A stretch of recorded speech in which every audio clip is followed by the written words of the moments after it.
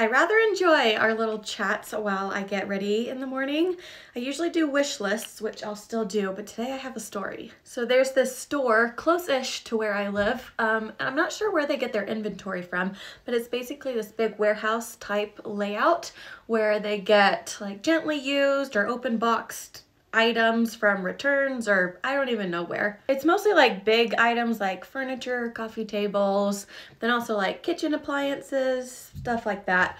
Um, so they get them in and then they discount them like close to 50% off um, the normal price. But it's usually just like one of something. So it's kind of a treasure hunt when you go. They open at noon every day. So the day before they always kind of tease on their Instagram what things will be available for the next day. So a couple days ago they posted that they had, I don't know, like 10 of those really nice Pebble ice machines, like the $600 ones. So the next day I get there right at 12, right when it's opening. There's already a line out the door waiting. So my plan worked perfectly because while everyone else was making a mad dash for these dang ice machines, I made my way over to the baby section and snagged this. It's the Lovevery Play Gym. I've heard so many people love it. It's just kind of pricey.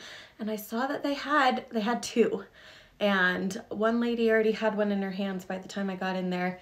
I got the other one for like half off. I'll open it in a second so you can see what it looks like, but I'm very excited for baby sis to have a little play gym. Look how cute.